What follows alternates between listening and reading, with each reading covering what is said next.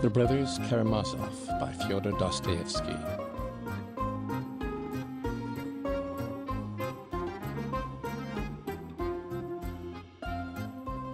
Book 1 The History of a Family. Chapter 1 Alexey Fyodorovitch Karamazov was the third son of Fyodor Pavlovitch Karamazov, a landowner well known in our district in his own day, and still remembered among us, owing to his gloomy and tragic death, which happened thirteen years ago, and which I shall describe in its proper place. For the present I will only say that this landowner, for so we used to call him, although he hardly spent a day of his life on his own estate, was a strange type, yet one pretty frequently to be met with, a type abject and vicious, and at the same time senseless. But he was one of those senseless persons who are very well capable of looking after their worldly affairs, and apparently after nothing else. Fyodor Pavlovitch, for instance, began with next to nothing; his estate was of the smallest. He ran to dine at other men's tables, and fastened on them as a toady. Yet at his death it appeared that he had a hundred thousand roubles in hard cash. At the same time, he was all his life one of the most senseless, fantastical fellows in the whole district.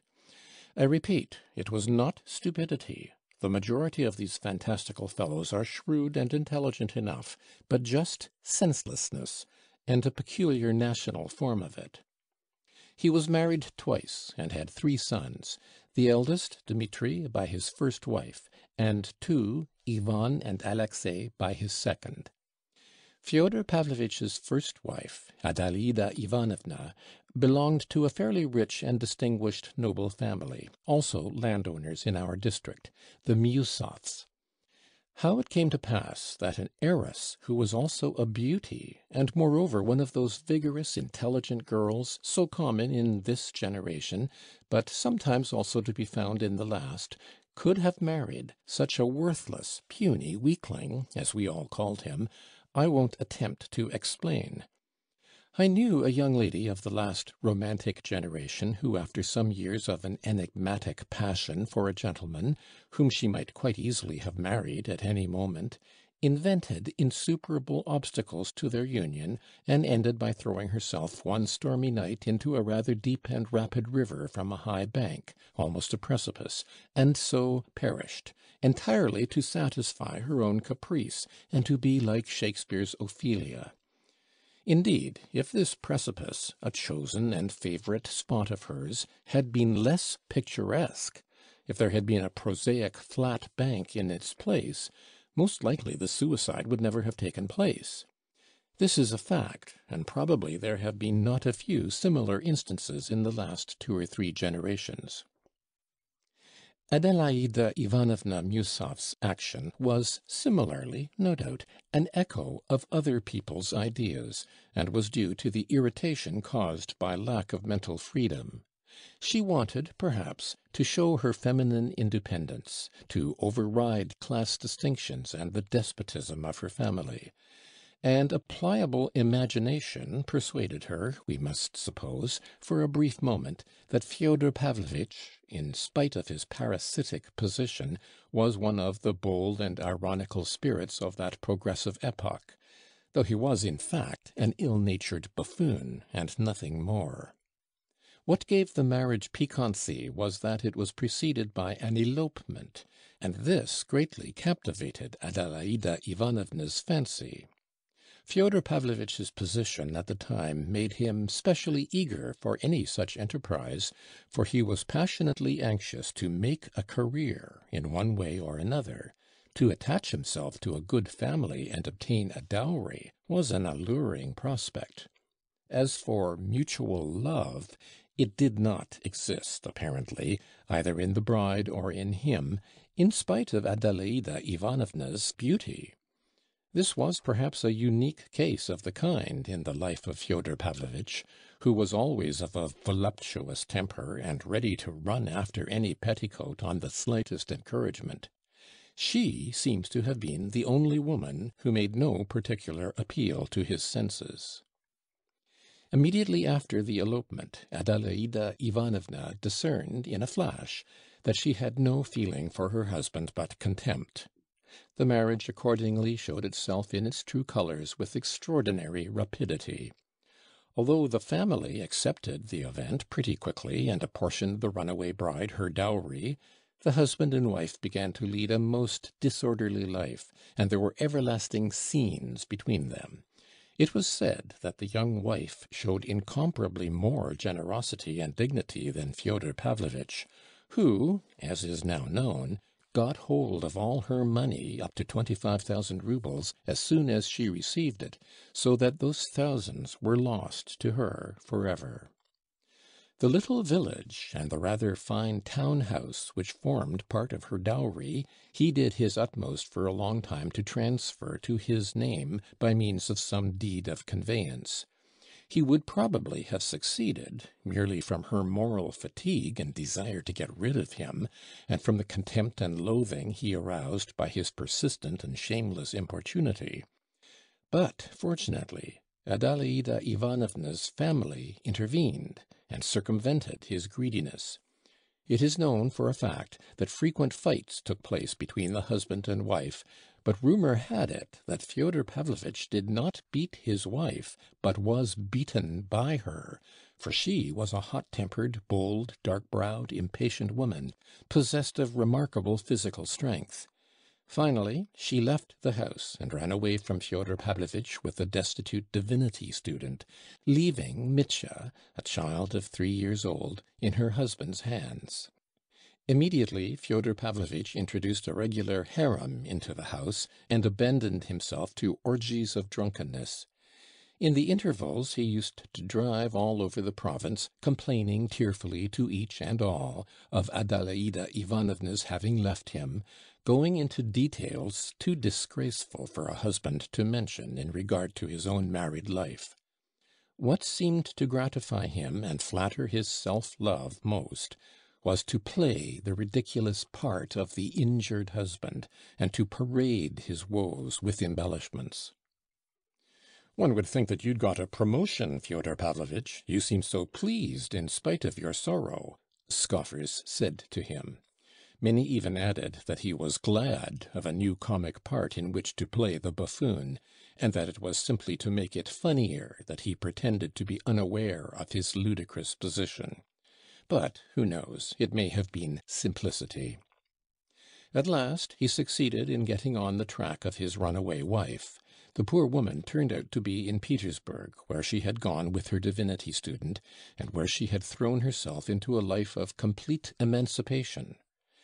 Fyodor Pavlovitch at once began bustling about, making preparations to go to Petersburg, with what object he could not himself have said. He would perhaps have really gone, but having determined to do so, he felt at once entitled to fortify himself for the journey by another bout of reckless drinking. And just at that time his wife's family received the news of her death in Petersburg. She had died quite suddenly in a garret, according to one story, of typhus, or, as another version had it, of starvation.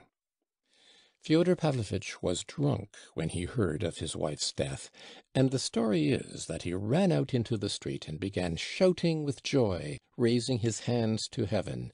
Lord, now lettest thou thy servant depart in peace. But others said he wept without restraint, like a little child, so much so that people were sorry for him, in spite of the repulsion he inspired. It is quite possible that both versions were true, that he rejoiced at his release, and at the same time wept for her who released him. As a general rule, people even the wicked, are much more naive and simple hearted than we suppose. And we ourselves are too. Book One, Chapter Two He Gets Rid of His Eldest Son. You can easily imagine what a father such a man could be, and how he would bring up his children. His behavior as a father was exactly what might be expected. He completely abandoned the child of his marriage with Adelaida Ivanovna, not from malice, nor because of his matrimonial grievances, but simply because he forgot him. while he was wearying every one with his tears and complaints, and turning his house into a sink of debauchery, a faithful servant of the family, Grigory, took the three year old Mitya into his care. If he hadn't looked after him, there would have been no one even to change the baby's little shirt. It happened, moreover, that the child's relations, on his mother's side, forgot him too, at first. His grandfather was no longer living; his widow, Mitya's grandmother, had moved to Moscow, and was seriously ill, while his daughters were married, so that Mitya remained for almost a whole year in old Grigory's charge, and lived with him in the servants' cottage. But if his father had remembered him he could not indeed have been altogether unaware of his existence he would have sent him back to the cottage, as the child would only have been in the way of his debaucheries. But a cousin of Mitya's mother, Pyotr Alexandrovitch Miusov, happened to return from Paris.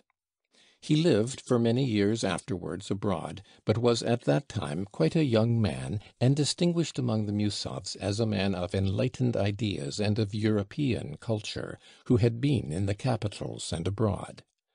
Towards the end of his life he became a Liberal of the type common in the forties and fifties. In the course of his career he had come into contact with many of the most liberal men of his epoch, both in Russia and abroad. He had known Proudhon and Bakunin personally, and in his declining years was very fond of describing the three days of the Paris Revolution of February 1848, hinting that he himself had almost taken part in the fighting on the barricades. This was one of the most grateful recollections of his youth. He had an independent property of about a thousand souls, to reckon in the old style. His splendid estate lay on the outskirts of our little town, and bordered on the lands of our famous monastery, with which Pyotr Alexandrovitch began an endless lawsuit almost as soon as he came into the estate, concerning the rights of fishing in the river, or wood cutting in the forest, I don't know exactly which. He regarded it as his duty as a citizen and a man of culture to open an attack upon the clericals. Hearing all about Adelaida Ivanovna, whom he, of course, remembered, and in whom he had at one time been interested, and learning of the existence of Mitya, he intervened, in spite of all his youthful indignation and contempt for Fyodor Pavlovitch. He made the latter's acquaintance for the first time, and told him directly that he wished to undertake the child's education. He used, long afterwards, to tell, as a characteristic touch, that when he began to speak of Mitya, Fyodor Pavlovitch looked for some time as though he did not understand what child he was talking about, and even as though he was surprised to hear that he had a little son in the house. The story may have been exaggerated, yet it must have been something like the truth. Fyodor Pavlovitch was all his life fond of acting, of suddenly playing an unexpected part, sometimes without any motive for doing so, and even to his own direct disadvantage, as for instance in the present case. This habit, however, is characteristic of a very great number of people, some of them very clever ones, not like Fyodor Pavlovitch. Pyotr Alexandrovitch carried the business through vigorously, and was appointed, with Fyodor Pavlovitch, joint guardian of the child, who had a small property, a house and land, left him by his mother. Mitya did, in fact, pass into his cousin's keeping, but as the latter had no family of his own, and, after securing the revenues of his estates, was in haste to return at once to Paris, he left the boy in charge of one of his cousins, a lady living in Moscow. It came to pass that, settling permanently in Paris, he too forgot the child especially when the Revolution of February broke out, making an impression on his mind that he remembered all the rest of his life. The Moscow lady died, and Mitya passed into the care of one of her married daughters. I believe he changed his home a fourth time later on. I won't enlarge upon that now, as I shall have much to tell later of Fyodor Pavlovitch's firstborn, and must confine myself now to the most essential facts about him without which I could not begin my story. In the first place, this Mitya, or rather Dmitri Fyodorovitch, was the only one of Fyodor Pavlovitch's three sons who grew up in the belief that he had property, and that he would be independent on coming of age. He spent an irregular boyhood and youth. He did not finish his studies at the gymnasium; he got into a military school, then went to the Caucasus, was promoted, fought a duel, and was degraded to the ranks, earned promotion again, led a wild life, and spent a good deal of money. He did not begin to receive any income from Fyodor Pavlovitch until he came of age, and until then got into debt. He saw and knew his father, Fyodor Pavlovitch, for the first time on coming of age, when he visited our neighborhood on purpose to settle with him about his property. He seems not to have liked his father.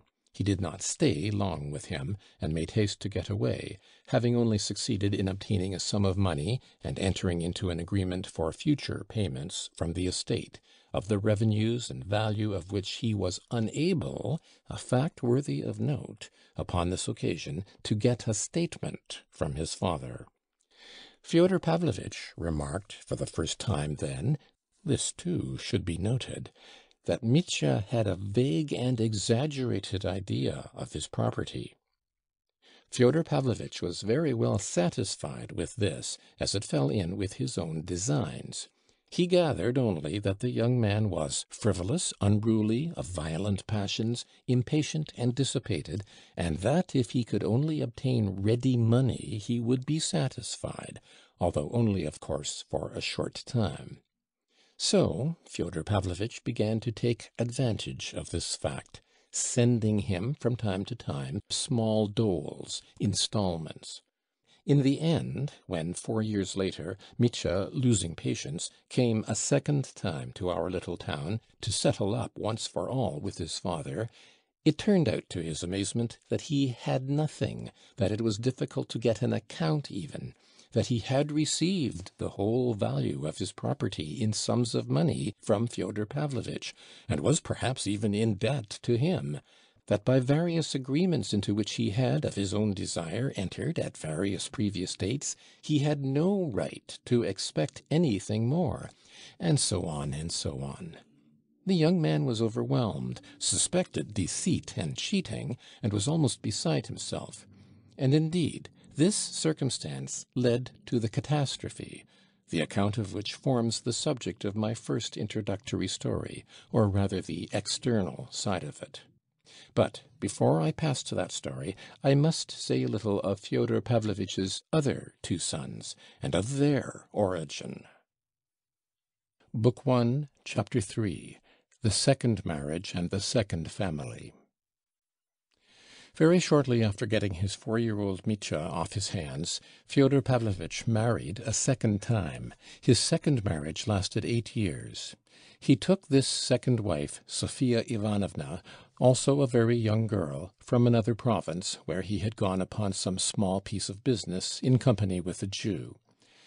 Though Fyodor Pavlovitch was a drunkard and a vicious debauchee, he never neglected investing his capital, and managed his business affairs very successfully, though no doubt not over scrupulously. Sophia Ivanovna was the daughter of an obscure deacon, and was left from childhood an orphan without relations. She grew up in the house of a general's widow, a wealthy old lady of good position, who was at once her benefactress and tormentor. I do not know the details, but I have only heard that the orphan girl, a meek and gentle creature, was once cut down from a halter in which she was hanging from a nail in the loft, so terrible were her sufferings from the caprice and everlasting nagging of this old woman who was apparently not bad hearted, but had become an insufferable tyrant through idleness. Fyodor Pavlovitch made her an offer; inquiries were made about him, and he was refused. But again, as in his first marriage, he proposed an elopement to the orphan girl. There is very little doubt that she would not on any account have married him if she had known a little more about him in time.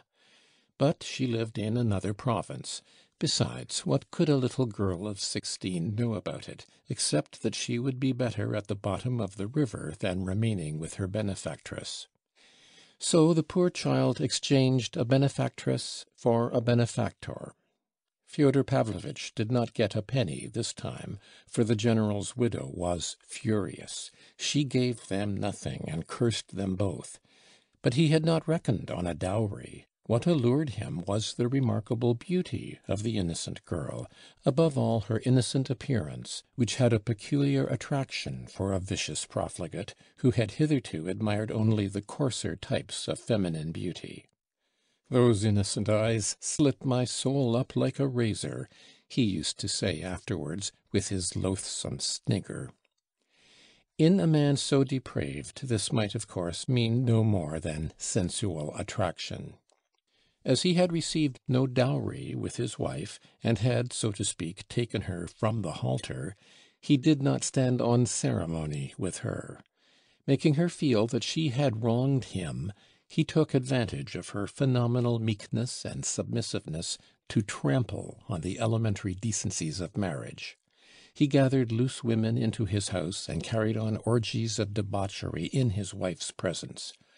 To show what a pass things had come to, I may mention that Grigori, the gloomy, stupid, obstinate, argumentative servant, who had always hated his first mistress, Adelaida Ivanovna, took the side of his new mistress. He championed her cause, abusing Fyodor Pavlovitch in a manner little befitting a servant, and on one occasion broke up the revels and drove all the disorderly women out of the house. In the end this unhappy young woman, kept in terror from her childhood, fell into that kind of nervous disease which is most frequently found in peasant women who are said to be possessed by devils. At times after terrible fits of hysterics, she even lost her reason. Yet she bore Fyodor Pavlovitch two sons, Ivan and Alexey, the eldest in the first year of marriage, and the second three years later. When she died, little Alexey was in his fourth year, and, strange as it seems, I know that he remembered his mother all his life, like a dream, of course. At her death, almost exactly the same thing happened to the two little boys as to their elder brother Mitya. They were completely forgotten and abandoned by their father. They were looked after by the same Grigori, and lived in his cottage, where they were found by the tyrannical old lady who had brought up their mother. She was still alive, and had not, all those eight years, forgotten the insult done her. All that time she was obtaining exact information as to her Sophia's manner of life, and hearing of her illness and hideous surroundings, she declared aloud two or three times to her retainers, "It serves her right; God has punished her for her ingratitude."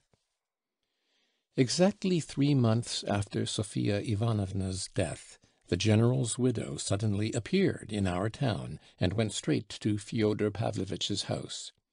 She spent only half an hour in the town, but she did a great deal. It was evening. Fyodor Pavlovitch, whom she had not seen for those eight years, came in to her drunk.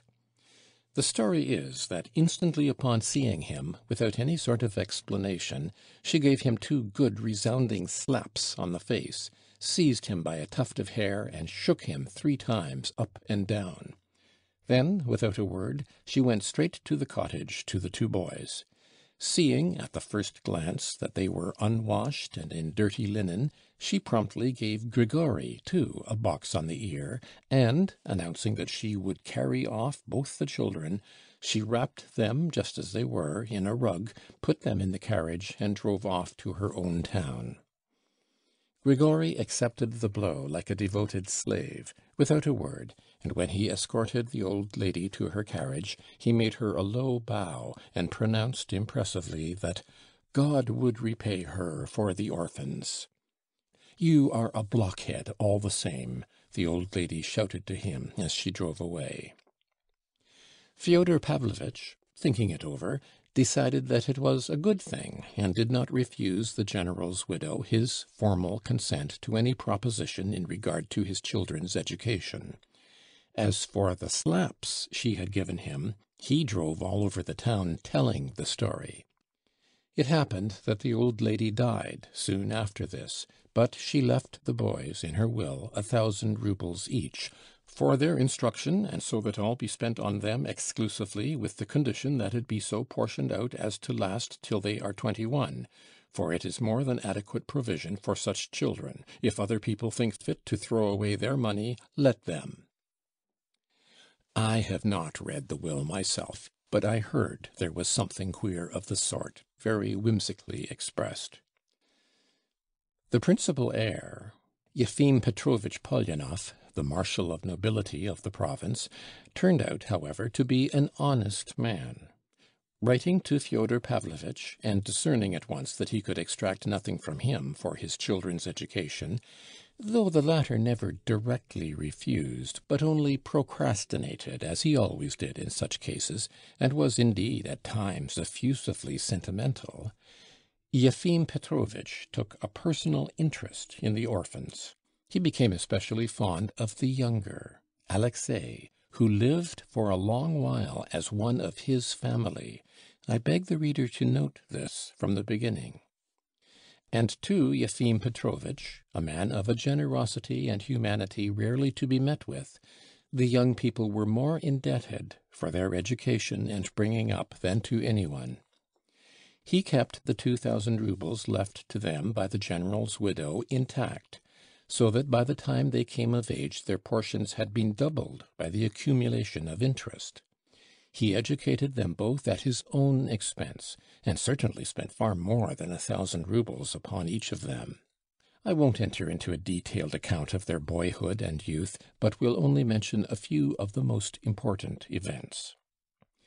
Of the elder, Ivan, I will only say that he grew into a somewhat morose and reserved, though far from timid, boy.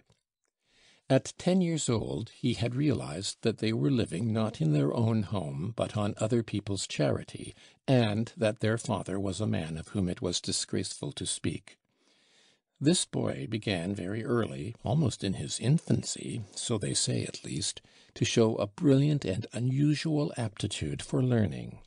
I don't know precisely why, but he left the family of Yefim Petrovitch when he was hardly thirteen entering a Moscow gymnasium, and boarding with an experienced and celebrated teacher, an old friend of Yefim Petrovitch. Ivan used to declare afterwards that this was all due to the ardor for good works of Yefim Petrovitch, who was captivated by the idea that the boy's genius should be trained by a teacher of genius. But neither Yefim Petrovitch nor this teacher was living when the young man finished at the gymnasium and entered the university. As Yefim Petrovitch had made no provision for the payment of the tyrannical old lady's legacy, which had grown from one thousand to two, it was delayed owing to formalities inevitable in Russia, and the young man was in great straits for the first two years at the university, as he was forced to keep himself all the time he was studying. It must be noted that he did not even attempt to communicate with his father, perhaps from pride, from contempt for him, or perhaps from his cool common sense, which told him that from such a father he would get no real assistance. However that may have been, the young man was by no means despondent, and succeeded in getting work; at first giving sixpenny lessons, and afterwards getting paragraphs on street incidents into the newspapers under the signature of "Eye Witness." These paragraphs, it was said, were so interesting and piquant that they were soon taken. This alone showed the young man's practical and intellectual superiority over the masses of needy and unfortunate students of both sexes, who hang about the offices of the newspapers and journals, unable to think of anything better than everlasting entreaties for copying and translations from the French. Having once got into touch with the editors, Ivan Fyodorovitch always kept up his connection with them, and in his latter years at the university he published brilliant reviews of books upon various special subjects, so that he became well known in literary circles. But only in his last year he suddenly succeeded in attracting the attention of a far wider circle of readers, so that a great many people noticed and remembered him. It was rather a curious incident. When he had just left the university and was preparing to go abroad upon his two thousand roubles, Ivan Fyodorovitch published in one of the more important journals a strange article, which attracted general notice, on a subject of which he might have been supposed to know nothing, as he was a student of natural science. The article dealt with a subject which was being debated everywhere at the time the position of the ecclesiastical courts. After discussing several opinions on the subject, he went on to explain his own view. What was most striking about the article was its tone and its unexpected conclusion. Many of the church party regarded him unquestioningly as on their side. And yet, not only the secularists, but even atheists joined them in their applause. Finally, some sagacious persons opined that the article was nothing but an impudent satirical burlesque. I mention this incident particularly because this article penetrated into the famous monastery in our neighborhood, where the inmates, being particularly interested in the question of the ecclesiastical courts, were completely bewildered by it. Learning the author's name, they were interested in his being a native of the town and the son of that Fyodor Pavlovitch. And just then it was that the author himself made his appearance among us. Why Ivan Fyodorovitch had come amongst us, I remember asking myself at the time with a certain uneasiness. This fateful visit, which was the first step leading to so many consequences, I never fully explained to myself. It seemed strange on the face of it that a young man so learned, so proud, and apparently so cautious, should suddenly visit such an infamous house, and a father who had ignored him all his life, hardly knew him, never thought of him, and would not under any circumstances have given him money, though he was always afraid that his sons Ivan and Alexey would also come to ask him for it. And here the young man was, staying in the house of such a father, had been living with him for two months, and they were on the best possible terms. This last fact was a special cause of wonder to many others as well as to me. Pyotr Alexandrovitch Miusov, of whom we have spoken already, the cousin of Fyodor Pavlovitch's first wife, happened to be in the neighborhood again on a visit to his estate. He had come from Paris, which was his permanent home. I remember that he was more surprised than any one when he made the acquaintance of the young man, who interested him extremely, and with whom he sometimes argued, and not without an inner pang compared himself in acquirements. He is proud, he used to say; he will never be in want of pence. He has got money enough to go abroad now. What does he want here? Every one can see that he hasn't come for money, for his father would never give him any. He has no taste for drink and dissipation, and yet his father can't do without him. They get on so well together. That was the truth. The young man had an unmistakable influence over his father, who positively appeared to be behaving more decently, and even seemed at times ready to obey his son though often extremely and even spitefully perverse. It was only later that we learned that Ivan had come partly at the request of, and in the interests of, his elder brother Dmitri, whom he saw for the first time on this very visit, though he had, before leaving Moscow, been in correspondence with him about an important matter of more concern to Dmitri than himself. What that business was, the reader will learn fully in due time. Yet even when I did know of this special circumstance, I still felt Ivan Fyodorovitch to be an enigmatic figure, and thought his visit rather mysterious. I may add that Ivan appeared at the time in the light of a mediator between his father and his elder brother Dmitri, who was in open quarrel with his father, and even planning to bring an action against him. The family, I repeat, was now united for the first time, and some of its members met for the first time in their lives. The younger brother, Alexey, had been a year already among us, having been the first of the three to arrive. It is of that brother, Alexey, I find it most difficult to speak in this introduction. Yet I must give some preliminary account of him, if only to explain one queer fact, which is that I have to introduce my hero to the reader wearing the cassock of a novice. Yes, he had been for the last year in our monastery, and seemed willing to be cloistered there for the rest of his life. Book One. Chapter 4 The Third Son, Alyosha He was only twenty; his brother Ivan was in his twenty fourth year at the time, while their elder brother Dmitri was twenty seven. First of all, I must explain that this young man, Alyosha, was not a fanatic, and, in my opinion at least, was not even a mystic. I may as well give my full opinion from the beginning. He was simply an early lover of humanity and that he adopted the monastic life was simply because at that time it struck him, so to say, as the ideal escape for his soul, struggling from the darkness of worldly wickedness to the light of love. And the reason this life struck him in this way was that he found in it, at that time, as he thought, an extraordinary being, our celebrated elder, Zossima, to whom he became attached with all the warm first love of his ardent heart.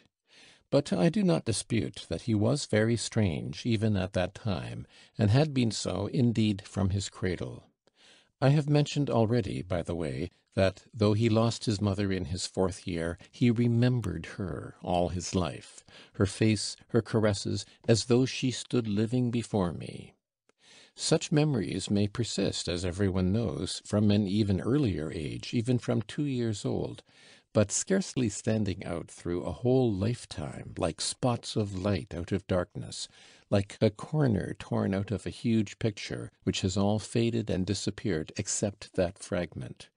That is how it was with him. He remembered one still summer evening, an open window, the slanting rays of the setting sun, that he recalled most vividly of all. In a corner of the room the holy image, before it a lighted lamp, and on her knees before the image his mother, sobbing hysterically, with cries and moans, snatching him up in both arms, squeezing him close till it hurt, and praying for him to the Mother of God, holding him out in both arms to the image as though to put him under the mother's protection. And suddenly a nurse runs in and snatches him from her in terror. That was the picture. And Alyosha remembered his mother's face at that minute. He used to say that it was frenzied but beautiful, as he remembered. But he rarely cared to speak of this memory to anyone. In his childhood and youth he was by no means expansive, and talked little indeed, but not from shyness or a sullen unsociability; quite the contrary, from something different, from a sort of inner preoccupation entirely personal, and unconcerned with other people, but so important to him that he seemed, as it were, to forget others on account of it. But he was fond of people. He seemed throughout his life to put implicit trust in people, yet no one ever looked on him as a simpleton or naive person. There was something about him which made one feel at once, and it was so all his life afterwards, that he did not care to be a judge of others, that he would never take it upon himself to criticize, and would never condemn any one for anything.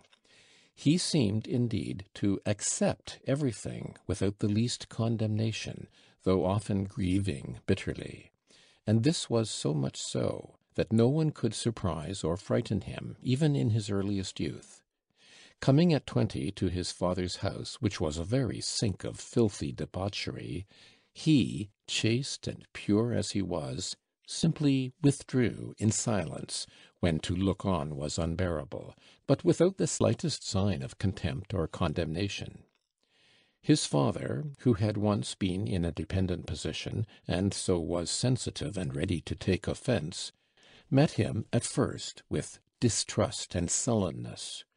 "He does not say much," he used to say, "and thinks the more."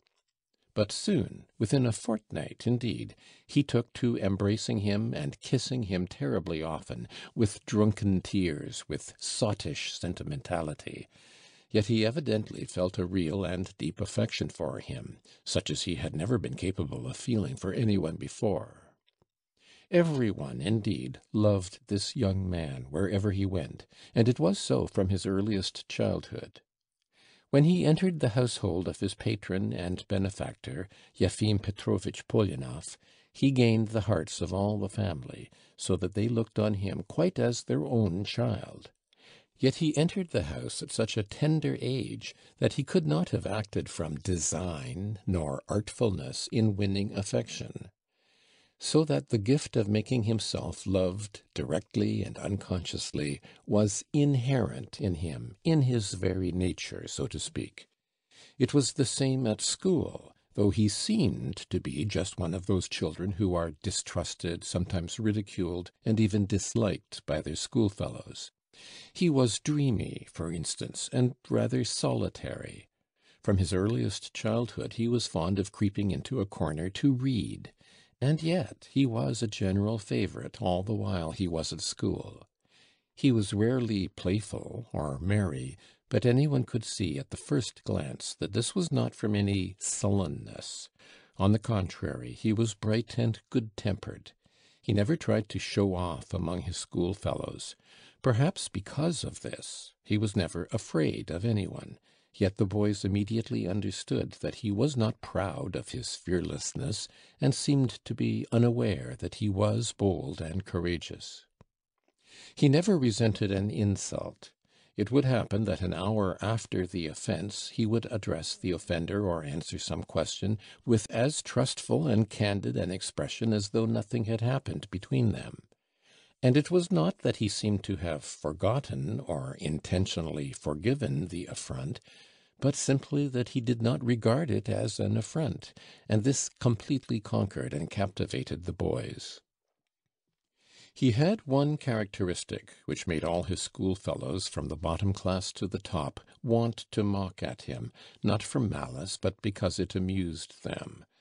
This characteristic was a wild, fanatical modesty and chastity. He could not bear to hear certain words and certain conversations about women.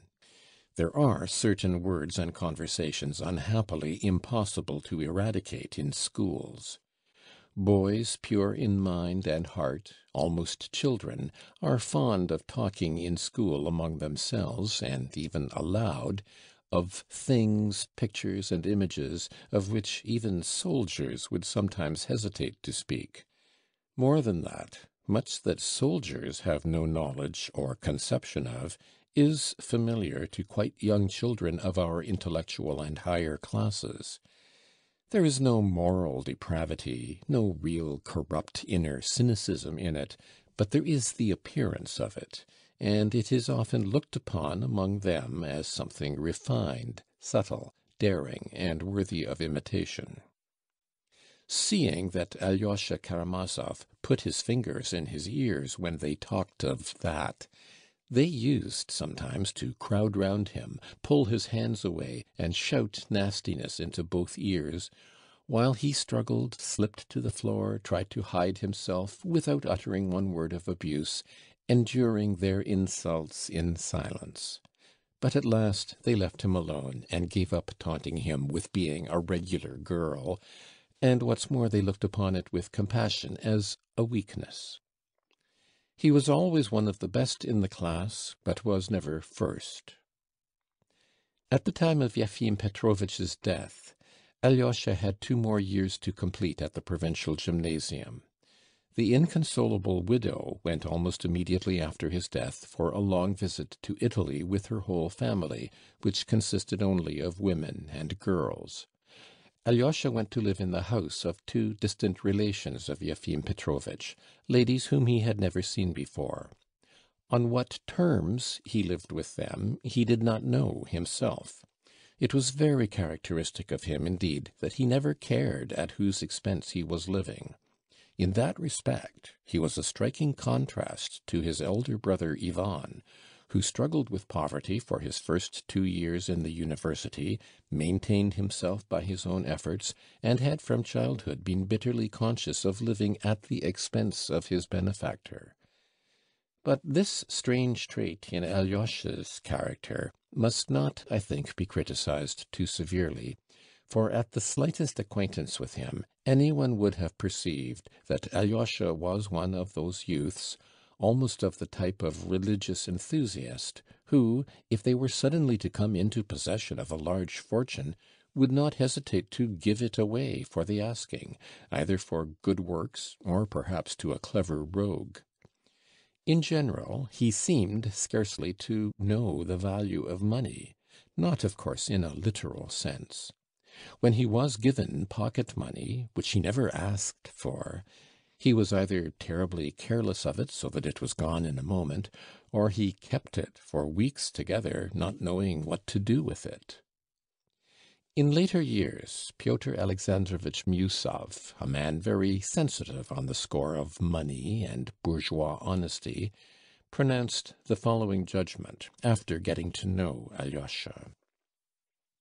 Here is perhaps the one man in the world whom you might leave alone without a penny, in the centre of an unknown town of a million inhabitants, and he would not come to harm, he would not die of cold and hunger, for he would be fed and sheltered at once, and if he were not, he would find a shelter for himself, and it would cost him no effort or humiliation, and to shelter him would be no burden, but, on the contrary, would probably be looked on as a pleasure. He did not finish his studies at the gymnasium. A year before the end of the course he suddenly announced to the ladies that he was going to see his father about a plan which had occurred to him. They were sorry and unwilling to let him go. The journey was not an expensive one, and the ladies would not let him pawn his watch, a parting present from his benefactor's family. They provided him liberally with money, and even fitted him out with new clothes and linen but he returned half the money they gave him, saying that he intended to go third class. On his arrival in the town, he made no answer to his father's first inquiry why he had come before completing his studies, and seemed, so they say, unusually thoughtful. It soon became apparent that he was looking for his mother's tomb. He practically acknowledged at the time that that was the only object of his visit. But it can hardly have been the whole reason of it. It is more probable that he himself did not understand, and could not explain, what had suddenly arisen in his soul and drawn him irresistibly into a new, unknown, but inevitable path. Fyodor Pavlovitch could not show him where his second wife was buried, for he had never visited her grave since he had thrown earth upon her coffin, and in the course of years had entirely forgotten where she was buried. Fyodor Pavlovitch, by the way, had for some time previously not been living in our town. Three or four years after his wife's death, he had gone to the south of Russia, and finally turned up in Odessa, where he spent several years. He made the acquaintance, at first, in his own words, of a lot of low Jews, Jewesses, and Jewkins, and ended by being received by Jews high and low alike. It may be presumed that at this period he developed a peculiar faculty for making and hoarding money. He finally returned to our town only three years before Alyosha's arrival. His former acquaintances found him looking terribly aged, although he was by no means an old man. He behaved not exactly with more dignity, but with more effrontery. The former buffoon showed an insolent propensity for making buffoons of others. His depravity with women was not simply what it used to be, but even more revolting. In a short time he opened a great number of new taverns in the district.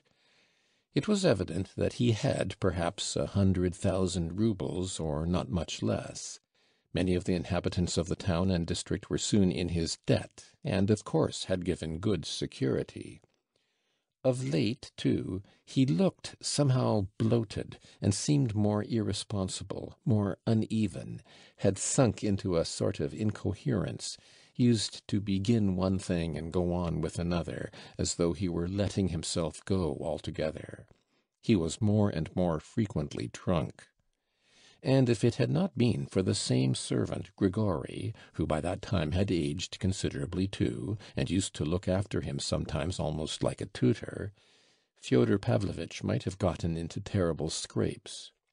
Alyosha's arrival seemed to affect even his moral side, as though something had awakened in this prematurely old man which had long been dead in his soul. "Do you know," he used often to say, looking at Alyosha, "that you are like her, the crazy woman?" That was what he used to call his dead wife, Alyosha's mother. Grigory it was who pointed out the crazy woman's grave to Alyosha. He took him to our town cemetery and showed him, in a remote corner, a cast iron tombstone, cheap but decently kept, on which were inscribed the name and age of the deceased and the date of her death, and below a four lined verse, such as are commonly used on old fashioned middle class tombs. To Alyosha's amazement, this tomb turned out to be Grigory's doing. He had put it up on the poor crazy woman's grave at his own expense, after Fyodor Pavlovitch, whom he had often pestered about the grave, had gone to Odessa, abandoning the grave and all his memories. Alyosha showed no particular emotion at the sight of his mother's grave; he only listened to Grigory's minute and solemn account of the erection of the tomb he stood with bowed head and walked away without uttering a word. It was perhaps a year before he visited the cemetery again. But this little episode was not without an influence upon Fyodor Pavlovitch, and a very original one. He suddenly took a thousand roubles to our monastery to pay for requiems for the soul of his wife, but not for the second. Alyosha's mother, the crazy woman, but for the first, Adelaida Ivanovna, who used to thrash him. In the evening of the same day he got drunk and abused the monks to Alyosha.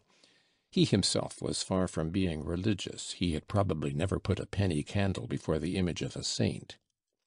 Strange impulses of sudden feeling and sudden thought are common in such types. I have mentioned already that he looked bloated. His countenance at this time bore traces of something that testified unmistakably to the life he had led. Besides the long, fleshy bags under his little, always insolent, suspicious, and ironical eyes, besides the multitude of deep wrinkles in his little fat face, the Adam's apple hung below his sharp chin like a great fleshy goitre, which gave him a peculiar repulsive sensual appearance; add to that a long rapacious mouth with full lips, between which could be seen little stumps of black decayed teeth. He slobbered every time he began to speak. He was fond indeed of making fun of his own face, though I believe he was well satisfied with it. He used particularly to point to his nose, which was not very large, but very delicate and conspicuously aquiline. "A regular Roman nose," he used to say; "with my goitre I've quite the countenance of an ancient Roman patrician of the decadent period." He seemed proud of it. Not long after visiting his mother's grave, Alyosha suddenly announced that he wanted to enter the monastery and that the monks were willing to receive him as a novice. He explained that this was his strong desire, and that he was solemnly asking his consent as his father. The old man knew that the elder Zossima, who was living in the monastery hermitage, had made a special impression upon his gentle boy.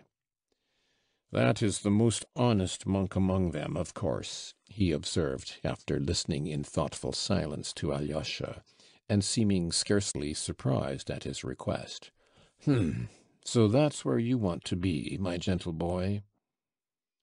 He was half drunk, and suddenly he grinned his slow, half drunken grin, which was not without a certain cunning and tipsy slyness. 'H'm! I had a presentiment that you would end in something like this, would you believe it? You were making straight for it. Well, to be sure, you have your own two thousand that's a dowry for you and I'll never desert you, my angel, and I'll pay what's wanted for you there, if they ask for it; but, of course, if they don't ask, why should we worry them? What do you say? You know, you spend money like a canary, two grains a week. Hmm. Do you know that near one monastery there's a place outside the town where every baby knows there are none but the monks' wives living, as they are called thirty women, I believe. I have been there myself. You know, it's interesting in its own way, of course, as a variety. The worst of it is, it's awfully Russian; there are no French women there. Of course, they could get them fast enough, they have plenty of money. If they get to hear of it, they'll come along. Well, there's nothing of that sort here no monks' wives and two hundred monks! They're honest, they keep the fasts, I admit it. Hm! So you want to be a monk. And do you know, I'm sorry to lose you, Alyosha. Would you believe it, I've really grown fond of you. Well, it's a good opportunity. You'll pray for us sinners; we have sinned too much here.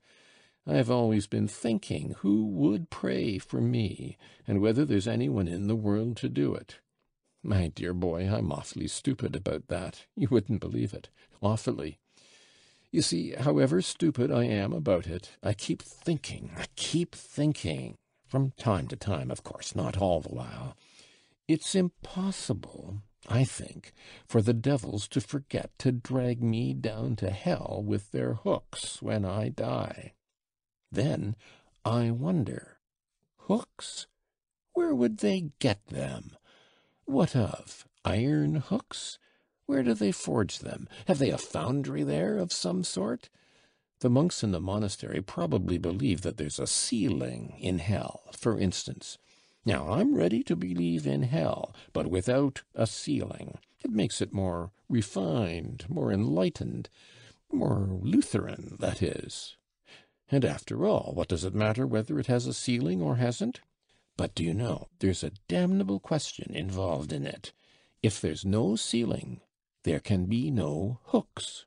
And if there are no hooks, it all breaks down, which is unlikely again, for then there would be none to drag me down to hell; and if they don't drag me down, what justice is there in the world? Il faudrait les inventer, those hooks, on purpose for me alone; for if you only knew, Alyosha, what a blackguard I am!' "But there are no hooks there," said Alyosha, looking gently and seriously at his father. "Yes, yes, only the shadows of hooks. I know, I know. That's how a Frenchman described hell. J'ai bu l'ombre d'un cocher qui avec l'ombre d'une brasse frappait l'ombre d'une carrosse. How do you know there are no hooks, darling? When you've lived with the monks, you'll sing a different tune. But go and get at the truth there, and then come and tell me. Anyway, it's easier going to the other world, if one knows what there is there. Besides, it will be more seemly for you with the monks than here with me, with a drunken old man and young harlots. Though you're like an angel, nothing touches you, and I dare say nothing will touch you there. That's why I let you go, because I hope for that. You've got all your wits about you. You will burn and you will burn out; you will be healed and come back again. And I will wait for you. I feel that you're the only creature in the world who has not condemned me. My dear boy, I feel it, you know; I can't help feeling it." And he even began blubbering. He was sentimental. He was wicked and sentimental. Book One, Chapter 5 Elders Some of my readers may imagine that my young man was a sickly, ecstatic, poorly developed creature, a pale, consumptive dreamer. On the contrary, Alyosha was at this time a well grown, red cheeked, clear eyed lad of nineteen, radiant with health. He was very handsome too, graceful, moderately tall, with hair of a dark brown, with a regular, rather long, oval shaped face, and wide set, dark gray, shining eyes. He was very thoughtful, and apparently very serene. I shall be told, perhaps, that red cheeks are not incompatible with fanaticism and mysticism; but I fancy that Alyosha was more of a realist than any one. Oh, no doubt, in the monastery he fully believed in miracles, but to my thinking miracles are never a stumbling block to the realist. It is not miracles that dispose realists to belief. The genuine realist, if he is an unbeliever, will always find strength and ability to disbelieve in the miraculous, and if he is confronted with a miracle as an irrefutable fact, he would rather disbelieve his own senses than admit the fact. Even if he admits it, he admits it as a fact of nature, till then unrecognized by him. Faith does not, in the realist, spring from the miracle, but the miracle from faith. If the realist once believes, then he is bound by his very realism to admit the miraculous also. The Apostle Thomas said that he would not believe till he saw, but when he did see, he said, My Lord and my God. Was it the miracle forced him to believe? Most likely not but he believed solely because he desired to believe, and possibly he fully believed in his secret heart even when he said, I do not believe till I see. I shall be told perhaps that Alyosha was stupid, undeveloped, had not finished his studies, and so on. That he did not finish his studies is true, but to say that he was stupid or dull would be a great injustice. I'll simply repeat what I have said above. He entered upon this path only because, at that time, it alone struck his imagination and presented itself to him as offering an ideal means of escape for his soul from darkness to light. Add to that, that he was to some extent a youth of our last epoch, that is, honest in nature, desiring the truth, seeking for it and believing in it, and seeking to serve it at once with all the strength of his soul, seeking for immediate action, and ready to sacrifice everything, life itself, for it. Though these young men unhappily fail to understand that the sacrifice of life is, in many cases, the easiest of all sacrifices, and that to sacrifice, for instance, five or six years of their seething youth to hard and tedious study, if only to multiply tenfold their powers of serving the truth and the cause they have set before them as their goal, such a sacrifice is utterly beyond the strength of many of them. The path Alyosha chose was a path going in the opposite direction, but he chose it with the same thirst for swift achievement. As soon as he reflected seriously, he was convinced of the existence of God and immortality, and at once he instinctively said to himself, I want to live for immortality, and I will accept no compromise. In the same way, if he had decided that God and immortality did not exist, he would at once have become an atheist and a socialist. For Socialism is not merely the labor question, it is before all things the atheistic question, the question of the form taken by atheism today, the question of the Tower of Babel, built without God, not to mount to heaven from earth, but to set up heaven on earth. Alyosha would have found it strange and impossible to go on living as before.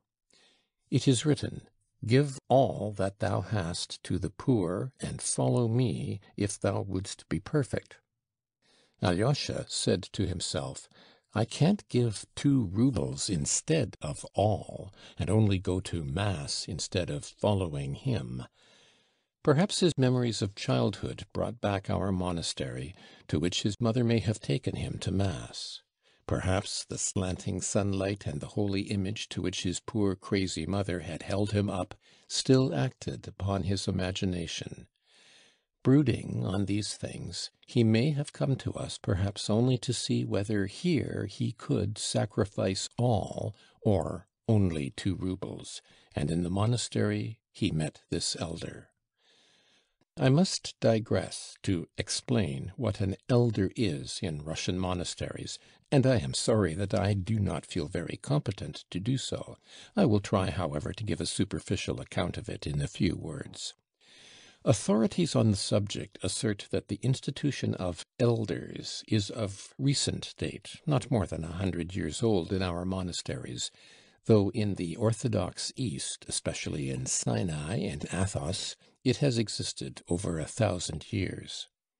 It is maintained that it existed in ancient times in Russia also, but through the calamities which overtook Russia the Tartars, civil war, the interruption of relations with the East after the destruction of Constantinople, this institution fell into oblivion. It was revived among us towards the end of the last century by one of the great ascetics, as they called him, Paisi Velichkovsky, and his disciples. But to this day it exists in few monasteries only, and has sometimes been almost persecuted as an innovation in Russia. It flourished especially in the celebrated Kozelski Optin monastery. When and how it was introduced into our monastery, I cannot say. There had already been three such elders, and Zossima was the last of them. But he was almost dying of weakness and disease, and they had no one to take his place. The question for our monastery was an important one, for it had not been distinguished by anything in particular till then. They had neither relics of saints, nor wonder working icons, nor glorious traditions, nor historical exploits. It had flourished and been glorious all over Russia through its elders, to see and hear whom pilgrims had flocked for thousands of miles from all parts. What was such an elder? An elder was one who took your soul, your will, into his soul and his will. When you choose an elder, you renounce your own will and yield it to him in complete submission, complete self abnegation. This novitiate, this terrible school of abnegation, is undertaken voluntarily, in the hope of self conquest, of self mastery, in order, after a life of obedience, to attain perfect freedom that is, from self, to escape the lot of those who have lived their whole life without finding their true selves in themselves. This institution of elders is not founded on theory, but was established in the East from the practice of a thousand years. The obligations due to an elder are not the ordinary obedience which has always existed in our Russian monasteries.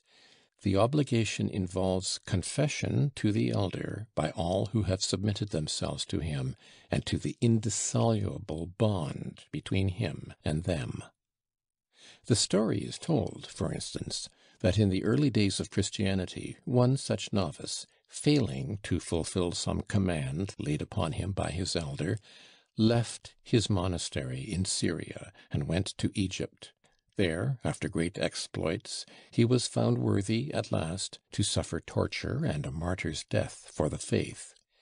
When the Church, regarding him as a saint, was burying him, suddenly, at the deacon's exhortation, Depart all ye unbaptized, the coffin containing the martyr's body left its place and was cast forth from the church, and this took place three times and only at last they learnt that this holy man had broken his vow of obedience and left his elder, and therefore could not be forgiven without the elder's absolution, in spite of his great deeds. Only after this could the funeral take place. This, of course, is only an old legend, but here is a recent instance. A monk was suddenly commanded by his elder to quit Athos, which he loved as a sacred place and a haven of refuge, and to go first to Jerusalem to do homage to the holy places, and then to go to the north to Siberia. There is the place for thee, and not here. The monk, overwhelmed with sorrow, went to the ecumenical patriarch at Constantinople, and besought him to release him from his obedience. But the patriarch replied that not only was he unable to release him, but there was not and could not be on earth a power which could release him, except the elder who had himself laid that duty upon him. In this way the elders are endowed, in certain cases, with unbounded and inexplicable authority. That is why in many of our monasteries the institution was at first resisted almost to persecution. Meantime the elders immediately began to be highly esteemed among the people. Masses of the ignorant people, as well as men of distinction, flocked, for instance, to the elders of our monastery to confess their doubts, their sins, and their sufferings, and ask for counsel and admonition. Seeing this, the opponents of the elders declared that the sacrament of confession was being arbitrarily and frivolously degraded, though the continual opening of the heart to the elder by the monk or the layman had nothing of the character of the sacrament. In the end, however, the institution of elders has been retained and is becoming established in Russian monasteries. It is true, perhaps, that this instrument which had stood the test of a thousand years for the moral regeneration of a man from slavery to freedom and to moral perfectibility, may be a two-edged weapon, and it may lead some not to humility and complete self-control, but to the most satanic pride, that is, to bondage and not to freedom. The elder Zosima was sixty-five. He came of a family of landowners, had been in the army in early youth, and served in the Caucasus as an officer. He had, no doubt, impressed Alyosha by some peculiar quality of his soul. Alyosha lived in the cell of the elder, who was very fond of him and let him wait upon him. It must be noted that Alyosha was bound by no obligation, and could go where he pleased and be absent for whole days. Though he wore the monastic dress, it was voluntarily, not to be different from others. No doubt he liked to do so. Possibly his youthful imagination was deeply stirred by the power and fame of his elder. It was said that so many people had for years past come to confess their sins to Father Zossima and to entreat him for words of advice and healing, that he had acquired the keenest intuition, and could tell from an unknown face what a newcomer wanted, and what was the suffering on his conscience. He sometimes astounded and almost alarmed his visitors by his knowledge of their secrets before they had spoken a word. Alyosha noticed that many, almost all, went into the elder for the first time with apprehension and uneasiness, but came out with bright and happy faces. Alyosha was particularly struck by the fact that Father Zossima was not at all stern; on the contrary, he was almost always gay. The monks used to say that he was more drawn to those who were more sinful, and the greater the sinner, the more he loved him. There were, no doubt, up to the end of his life, among the monks, some who hated and envied him, but they were few in number, and they were silent, though among them were some of great dignity in the monastery. One, for instance, of the older monks, distinguished for his strict keeping of fasts and vows of silence. But the majority were on Father Zossima's side, and very many of them loved him with all their hearts, warmly and sincerely. Some were almost fanatically devoted to him, and declared, though not quite aloud, that he was a saint, that there could be no doubt of it; and, seeing that his end was near, they anticipated miracles and great glory to the monastery in the immediate future from his relics. Alyosha had unquestioning faith in the miraculous power of the elder, just as he had unquestioning faith in the story of the coffin that flew out of the church. He saw many who came with sick children or relatives, and besought the elder to lay hands on them and to pray over them, return shortly after, some the next day, and falling in tears at the elder's feet, thank him for healing their sick. Whether they had really been healed, or were simply better in the natural course of the disease, was a question which did not exist for Alyosha, for he fully believed in the spiritual power of his teacher, and rejoiced in his fame, in his glory, as though it were his own triumph. His heart throbbed, and he beamed, as it were, all over, when the elder came out to the gates of the hermitage into the waiting crowd of pilgrims of the humbler class, who had flocked from all parts of Russia on purpose to see the elder and obtain his blessing. They fell down before him, wept, kissed his feet, kissed the earth on which he stood, and wailed, while the women held up their children to him and brought him the sick possessed with devils. The elder spoke to them, read a brief prayer over them, blessed them, and dismissed them. Of late he had become so weak through attacks of illness that he was sometimes unable to leave his cell, and the pilgrims waited for him to come out for several days. Alyosha did not wonder why they loved him so, why they fell down before him and wept with emotion merely at seeing his face. Oh, he understood that for the humble soul of the Russian peasant, worn out by grief and toil, and still more by the everlasting injustice and everlasting sin, his own and the world's, it was the greatest need and comfort to find some one or something holy to fall down before and worship. Among us there is sin, injustice, and temptation, but yet somewhere on earth there is some one holy and exalted. He has the truth, he knows the truth, so it is not dead upon the earth, so it will come one day to us too, and rule over all the earth according to the promise. Alyosha knew that this was just how the people felt and even reasoned. He understood it but that the elder Zossima was this saint and custodian of God's truth, of that he had no more doubt than the weeping peasants and the sick women who held out their children to the elder. The conviction that after his death the elder would bring extraordinary glory to the monastery was even stronger in Alyosha than in any one there, and of late a kind of deep flame of inner ecstasy burnt more and more strongly in his heart. He was not at all troubled at this elder's standing as a solitary example before him. No matter, he is holy, he carries in his heart the secret of renewal for all, that power which will, at last, establish truth on the earth, and all men will be holy and love one another, and there will be no more rich nor poor, no exalted nor humbled, but all will be as the children of God, and the true kingdom of Christ will come.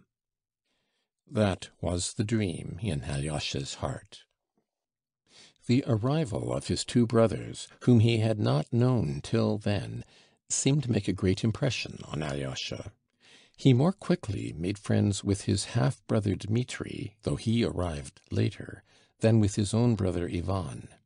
He was extremely interested in his brother Ivan, but when the latter had been two months in the town, though they had met fairly often, they were still not intimate.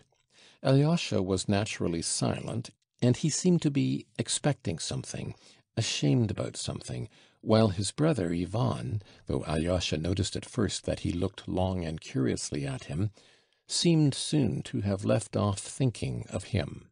Alyosha noticed it with some embarrassment. He ascribed his brother's indifference at first to the disparity of their age and education. But he also wondered whether the absence of curiosity and sympathy in Ivan might be due to some other cause entirely unknown to him. He kept fancying that Ivan was absorbed in something, something inward and important, that he was striving towards some goal, perhaps very hard to attain, and that that was why he had no thought for him. Alyosha wondered too whether there was not some contempt on the part of the learned atheist for him, a foolish novice. He knew for certain that his brother was an atheist. He could not take offence at this contempt, if it existed. yet with an uneasy embarrassment which he did not himself understand, he waited for his brother to come nearer to him. Dmitri used to speak of Ivan with the deepest respect and with a peculiar earnestness. From him Alyosha learnt all the details of the important affair which had of late formed such a close and remarkable bond between the two elder brothers.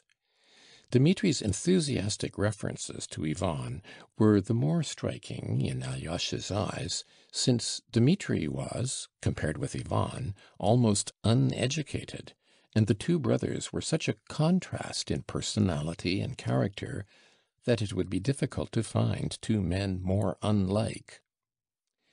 It was at this time that the meeting, or rather gathering, of the members of this inharmonious family took place in the cell of the elder who had such an extraordinary influence on Alyosha. The pretext for this gathering was a false one. It was at this time that the discord between Dmitri and his father seemed at its acutest stage, and their relations had become insufferably strained.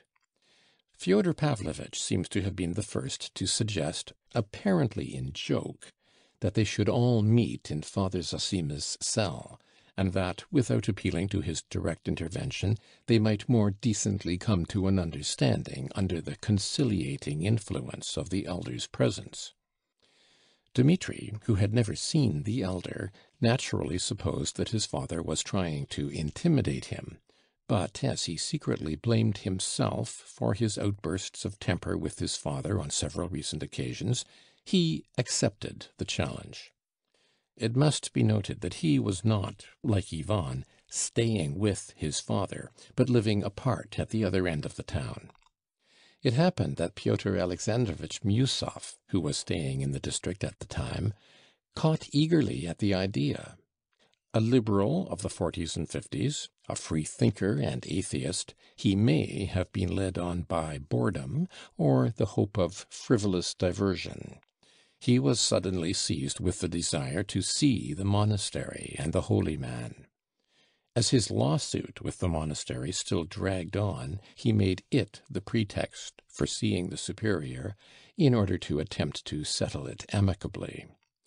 A visitor coming with such laudable intentions might be received with more attention and consideration than if he came from simple curiosity. Influences from within the monastery were brought to bear on the elder, who of late had scarcely left his cell, and had been forced by illness to deny even his ordinary visitors. In the end he consented to see them, and the day was fixed. "Who has made me a judge over them?" was all he said, smilingly, to Alyosha. Alyosha was much perturbed when he heard of the proposed visit. Of all the wrangling, quarrelsome party, Dmitri was the only one who could regard the interview seriously. All the others would come from frivolous motives, perhaps insulting to the elder. Alyosha was well aware of that. Ivan and Miusov would come from curiosity, perhaps of the coarsest kind, while his father might be contemplating some piece of buffoonery. Though he said nothing, Alyosha thoroughly understood his father. The boy, I repeat, was far from being so simple as every one thought him. He awaited the day with a heavy heart.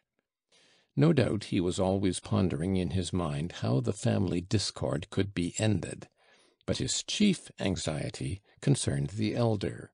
He trembled for him, for his glory, and dreaded any affront to him, especially the refined, courteous irony of Miusov, and the supercilious half utterances of the highly educated Ivan.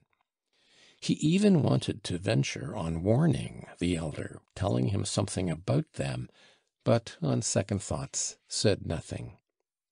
He only sent word the day before, through a friend, to his brother Dmitri, that he loved him, and expected him to keep his promise. Dmitri wondered, for he could not remember what he had promised; but he answered by letter that he would do his utmost not to let himself be provoked by vileness, but that, although he had a deep respect for the elder and for his brother Ivan, he was convinced that the meeting was either a trap for him or an unworthy farce.